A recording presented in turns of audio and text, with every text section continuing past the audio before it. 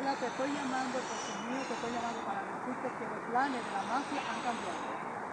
Quiero que llame a tu hermano Máximo ahora mismo, ahora sí, para que destruya a toda la familia Rivera ahora mismo. Así que llama